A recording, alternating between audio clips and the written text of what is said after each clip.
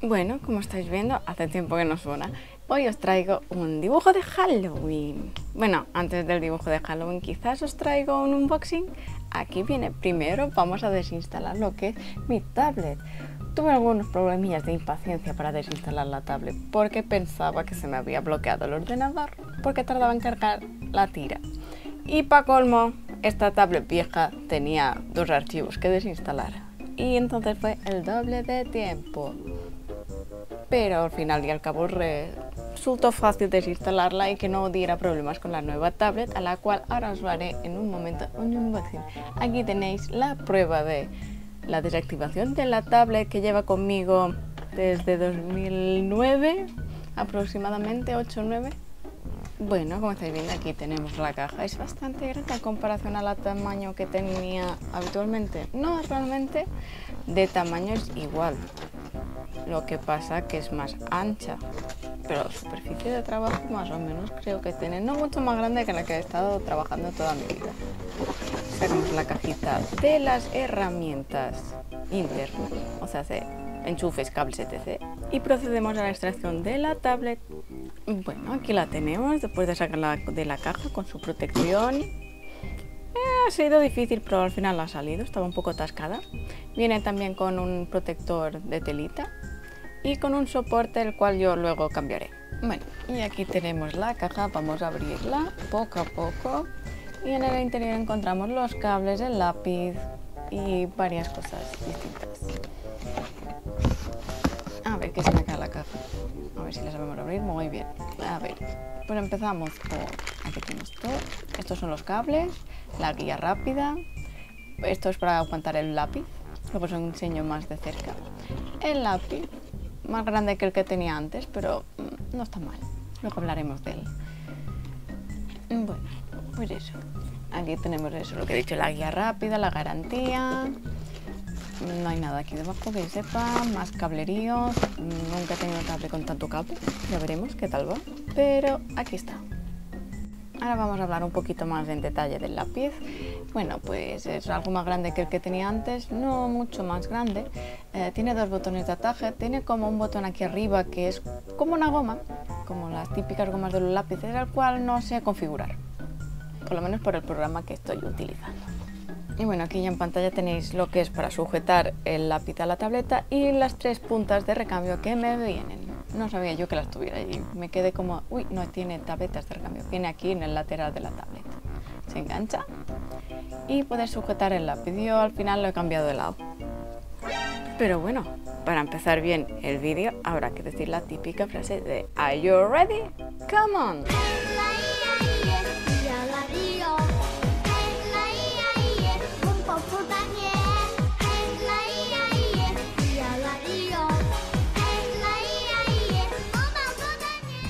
Ahora sí que podemos continuar con el chisme. Bueno, más que el chisme, el hecho de mm, ¿qué hago aquí? Porque he vuelto. Y ¿qué es este dibujo de Halloween cuando ya ha pasado Halloween. Pues que no lo edite. Si también lo he publicado a Instagram tarde, no me vengáis con cuentos de uy, es que lo publicaste y no lo subiste. No, es que directamente lo publiqué y lo subí todo tarde. ¿Por qué? Porque soy tarde. Además, me tengo que organizar lo que se debería organizar a mi nueva vida, que es ya no trabajo, estoy en el paro. Pues debería empezar a organizarme las cosas correctamente, o sea, volver a ponerme un horario para hacer los vídeos, un horario para hacer los directos, un horario para vivir, un horario para dibujar y cosas de estas. Tampoco hace falta estructurarse la vida tan a fondo, pero bueno, poner un par de pautas para que se mueva todo y avance, ¿no?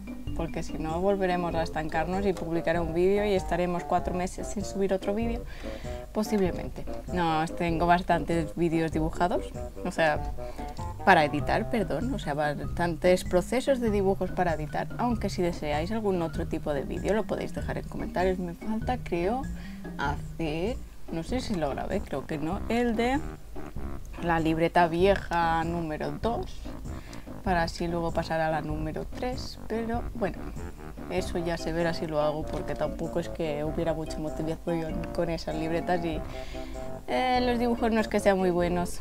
También creo que tengo sketches para, o sea, sketchbooks para mostraros, pero no me acuerdo en cuál quedé. O si no he terminado el sketchbook, entonces no lo tengo que mostrar, no me acuerdo. Luego tengo nuevos materiales. Creo que tengo ya más o menos montado un stand, o sea, un layout, no sé cómo llamarlo, una zona para hacer dibujos a tradicional y grabarlos. tengo más o menos casi terminado. Entonces, pues también traeré un par de cosas a tradicional, no sé si os interesa.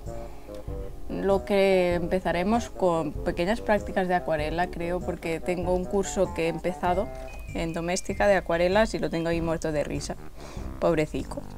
Lo empecé y cuando empezó la tarea de hacer dibujos, o sea, probar las acuarelas y esas cosas, pues dejé de usarlo. Dejé lo que se llama el curso, pero es que, claro, no tenía una zona buena de trabajo. Y aparte estaba también trabajando en lo que es mi oficio, que es cocina, o sea, trabajo en hostelería. Lo de dibujar es más bien un hobby a este ritmo porque dedicarme a ello como continuo es un poco difícil, ya que no le voy a sacar beneficios actualmente a lo que se llama dibujar, ni siquiera a lo que se llama hacer YouTube o Twitch. Así que mi laburo es hostelería.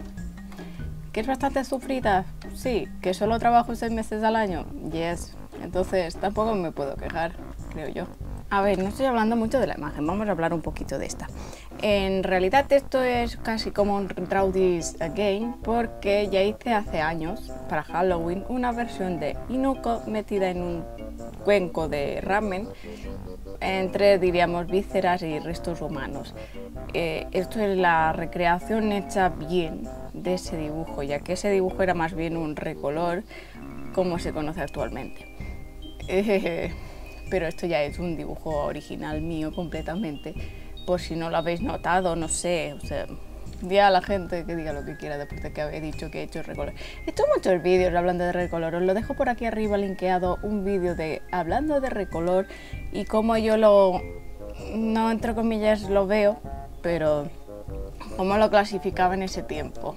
Aunque ese no es el tema en cuestión, el tema en cuestión ahora es esto, el dibujo de Halloween que está pues Inuko metida en una bowl de ramen, bañada en vísceras y me parece que le tendría que haber dibujado más sangre de la que tiene en sí. No sé, o sea, me refiero sobre el cuerpo, haber censurado más cuerpo con la Bloody. Luego tuve un problemote, que este ya llegará más adelante, con la postura del cuerpo, pero ya lo veréis. Yo con mis dejar tiempo para el dibujo para que repose, pues ahí es cuando encuentro muchos fallos. Pero por suerte creo que lo solucioné, lo llevé a cabo bastante bien el arreglo. Yo diría que sí, no quedó tampoco tan desastroso como pensaba que me iba a quedar.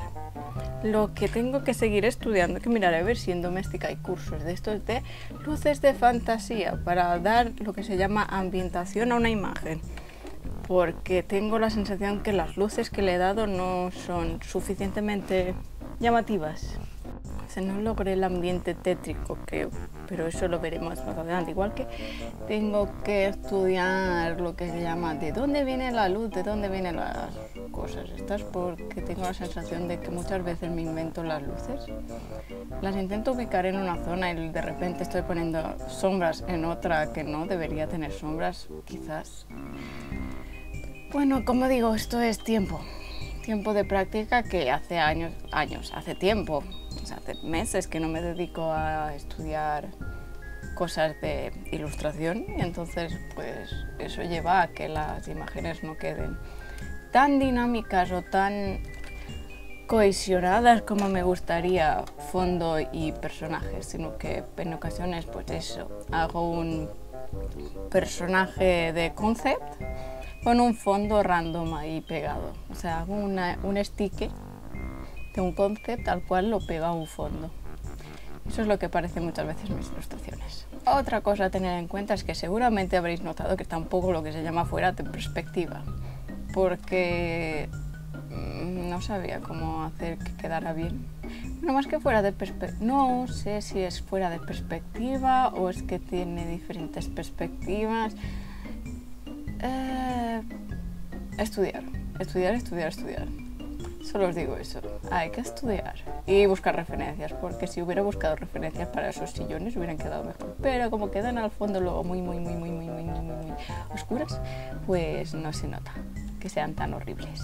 Rumanos, absténgase de hacer un chiste con el muy, muy, muy, muy, muy. Que no me acuerdo ahora qué palabra era, pero eso. Eh, no.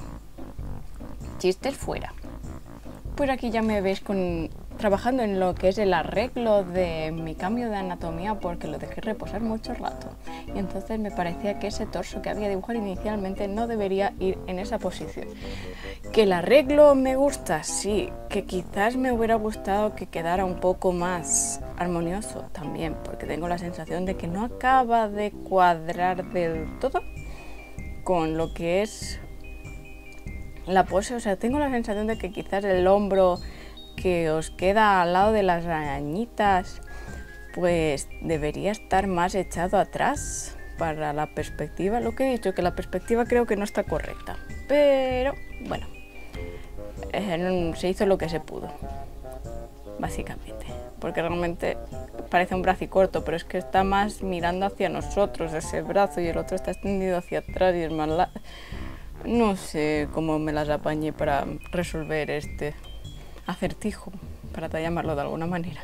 Y para colmo estoy hablando de mucho y no estoy hablando de nada, como siempre, pero bueno, lo dicho, intentaré regresar con dibujos nuevos.